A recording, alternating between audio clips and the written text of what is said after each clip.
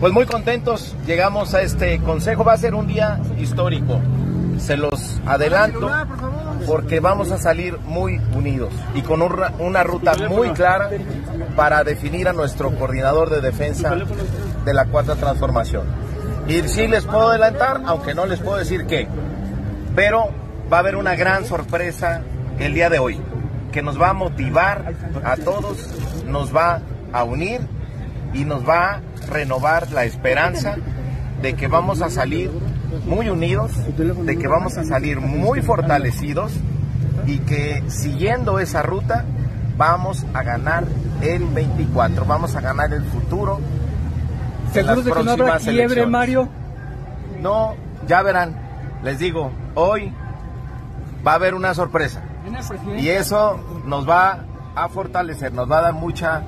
unidad, nos va a renovar el compromiso de todas y todas con este movimiento. Que lo más importante es que siga esta transformación, que siga adelante este proceso histórico, independientemente